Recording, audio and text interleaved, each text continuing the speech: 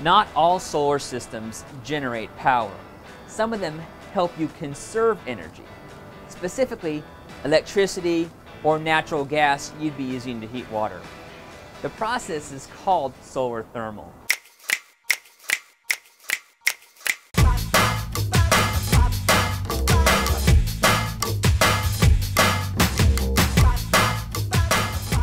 I'm on the roof of Southface Energy Institute's offices in Midtown Atlanta take a look at two different kinds of solar thermal collectors, also known as solar hot water.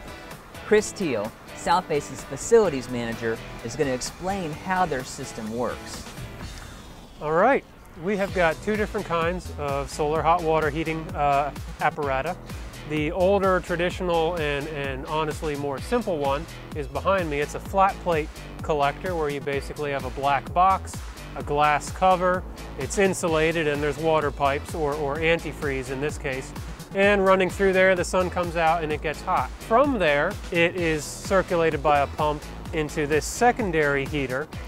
And these are called evacuated tube collectors. Each one of these glass tubes is like a thermos bottle. It has a vacuum that's created so that energy can come in in terms of the sunlight. It's all painted black, but it cannot get out of the vacuum. It works kind of like a, um, a heat tube with a copper pipe in the middle of each one, and that brings energy up to the manifold with the antifreeze circulating through there. Each one of these will capture heat, transfers it up to the working fluid, and then it circulates down into the building. From the roof, the hot antifreeze is circulated by this pump. So it's running through a heat exchanger. This is where the energy from the hot roof, the hot antifreeze, is transferred to the potable water. And the potable water is circulated by this pump, running into and out of the storage tank. The hot water that is stored in this tank basically is free hot water. The pumps use a negligible amount of electricity. But the water here becomes the preheated supply for the intake of our backup unit.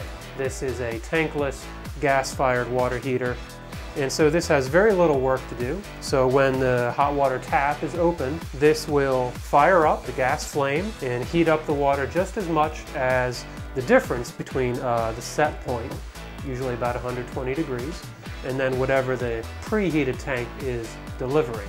Any kind of a solar hot water heating system does not generate energy. What it does is it helps you conserve those fuels you would otherwise be using in a conventional, traditional uh, water heating system. So why is this important? Well, 25% of your home's energy dollar is spent heating water and keeping it hot. Water comes in from the street at about 50 degrees, and then we heat it to about 120. The sun can preheat street water to about 105 degrees. Letting the sun do most of the work will shave a lot off your energy bill. A solar thermal system can run as little as $2,000, and in many cases it can connect right to your existing system. The payback is faster when your current system is electric, but that's just because natural gas is so cheap right now. But it's important to keep in mind that natural gas is a fossil fuel, and so whenever we can replace it with renewable sources like the sun, well, that's a good thing. Hot sun, hot water. That's just another easy way to be green. As always, our challenge to you put your green on one leg at a time. Stay connected by becoming a fan of our Facebook page and help spread the green by sharing with your friends. Greenshortz.com. That's shorts with a Z.